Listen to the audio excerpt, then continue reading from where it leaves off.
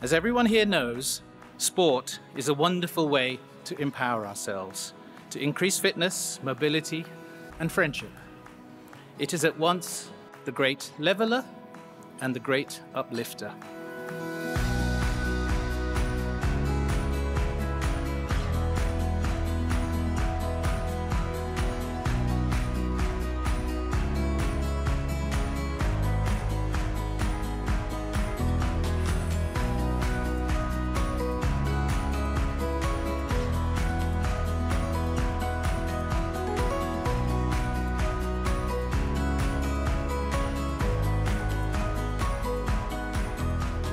Variety began nearly 100 years ago in a little theatre where a baby was found abandoned with a note saying, I'm too poor to look after this baby. You theatre folk, please look after my baby.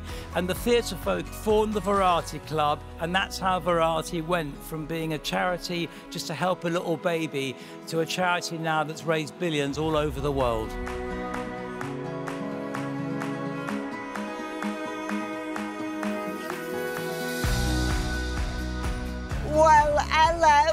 I'm Rosie. If you don't know me, uh, get out. My name is Katerina Vrana.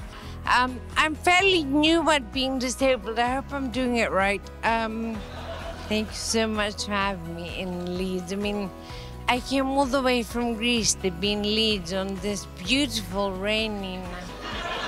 It's 30 degrees in Greece, guys. Since Variety began all those years ago, every year we help improve the lives of more than 130,000 children across the United Kingdom. We also try and recognize through our awards the achievements of those who have done so much for disability sports. I am absolutely delighted to see so many of us here tonight celebrating disability sports and all its extraordinary achievements. It's not just about the athletes, although they are a massive part of it. You know, it's about businesses representing, you know, and creating these sort of accessible environments and things like that for, for awards like this to be won and players to be able to, to compete and obviously achieve what they need to. Winning this award means, um, you know, means for us as a national centre, there's recognition for what we've committed to, to create such an accessible venue, the first of its kind in Scotland but across the world. Uh, tonight's amazing. I mean, I think it's the inaugural one, and so to be part of the first ever one, you know, not many people can say that. Yeah, it's pretty pretty surreal to be honest. Um, to, to be recognised. Uh, you know, by disability through um, what I've achieved and, and my passion in, in motorsport and um, overcoming my, con my condition to, to um, race against able-bodied people um, and succeed in that um, and then to be recognised by it is a, a real dream come true. These kind of events are priceless, I think, because yeah. you, you very rarely get to see a spotlight put on disability sport in this manner. As soon as you come into the hall, you're like, wow, this is a big deal. This is a big deal. I think everyone in the hall has achieved amazing things throughout the year, and they're all, they're all winners really. It's great to have these awards because it recognises disability sport across, you know, across the board, not just what's represented in the Paralympics. So, yeah, this is just sort of whetting the appetite for what's to come for the rest of the year. Hosts have been great.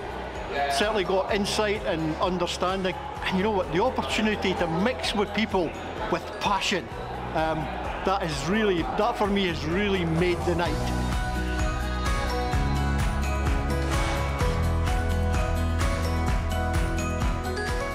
It's been lovely. It's been a great evening. We've, we've felt a lot of heart in the room. We saw over 100 nominations from various people up and down the country who felt inspired enough to put their people forward for these awards. I think that, to me, is almost the greatest achievement of tonight because it means that this award ceremony has become a thing for all of us to look forward to to, to feel good that we were there and for those people that we were able to reach and bring forward hopefully something they'll remember for a long time to come.